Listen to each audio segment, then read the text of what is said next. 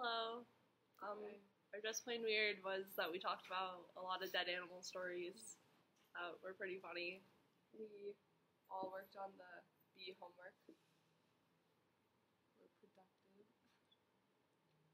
Some people showed up later than usual.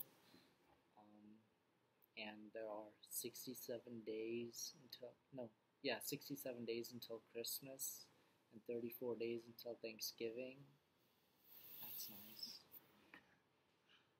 I'm here.